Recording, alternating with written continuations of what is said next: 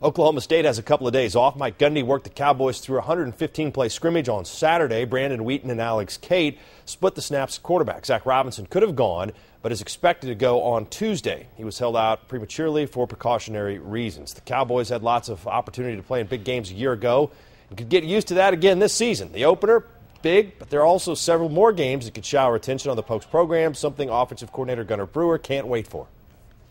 We made some giant steps in facilities, but also in the ability to make some plays, get into big games, and not just be okay. Well, I played them close, but to expect to win is a difference in okay. We're just going to go in, and well, we might win, but now it's a case where you can see it in their eyes, you can see in the preparation that oh, we're going to win this game. It's just a matter of time, and maybe some things hadn't worked out that way, but like you mentioned in Texas or some other games that we've been in, it's just a case of one play here or there, a mistake that we made that prevented us from winning the game.